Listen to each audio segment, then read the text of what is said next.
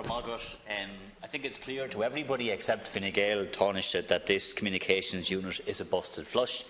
Uh, it needs to be disbanded. I hope that this motion will be supported by the entire opposition, and I think that will be a very clear signal from the opposition that this unit has to go. It is nothing more than a highly expensive PR unit for the Taoiseach and Fine Gael at the expense of the taxpayer. It was, after all, the brainchild of the Taoiseach, and he has to bear responsibility for clear mistakes that were made in the establishment and the operation of this uh, committee. It's completely unacceptable, which is why Sinn Féin has tabled the, this motion for this unit to be disbanded. As you know, Taoiseach, we are also calling on the Taoiseach and senior civil servants to appear before the Public Accounts Committee. We can make political charges uh, in this House, and we do, in respect of the use of taxpayers' money uh, in respect of this uh, unit. But the Public Accounts Committee is there to examine how taxpayers' money is spent, to examine processes, to, ex to, examine procedures, and to examine whether or not the logic that was behind setting up this unit in the first place, and we were told this was about saving money, is uh, the process that has been uh, followed. And very, very serious questions have been asked by those in the media and by those in this chamber and outside this chamber in respect of the operation of this uh, unit. And it has come under uh, intense scrutiny.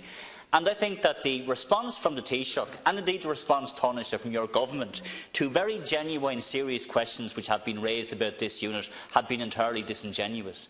Because you say there are more important issues out there, and you dismiss concerns in a very flippant way. And of course, issues like housing and health and many other issues are important, which is why my party has tabled dozens of motions on those issues, asking your party to do the right thing on health, to do the right thing on housing, to build the homes that are needed, to put in place a lot of the policy proposals that we have made, and you failed to do so. And we will be back again to deal with all of those issues. But none of that can excuse the, the blatant misuse of taxpayers' money in respect of this uh, unit.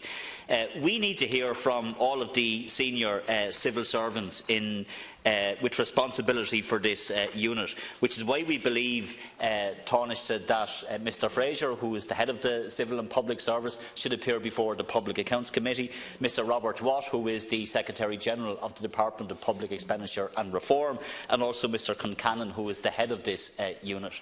And they will have to answer questions in relation to their role as civil servants. But there is obvious questions to be asked by the Taoiseach here and questions that need to be answered. And there are questions uh, and answers that need to, be, uh, need to be given by others in the political sphere uh, as well.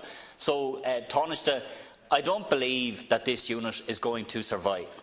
And I don't believe window dressing is going to cut it either. So some sort of review that is not worth the paper it's written on, a review that uh, will uh, be riddled with conflicts of interest, um, where the people who are embarking on the review are the very people who have questions to answer, I don't believe will be acceptable either. So the only acceptable solution for us in Sinn Féin is that this unit be disbanded, that we don't have taxpayers' money being used to promote the activities of one political party, even if that party is in government. All political parties are funded by the state and uh, uh, get taxpayers' money, and that's the level and, and fair playing field that should be in place. But there cannot be and there should not be an abuse of taxpayers' money by specialised communications units set up by government to promote political parties and not promote the work of the civil and the public service and indeed that of uh, government, which is why we've tabled this motion.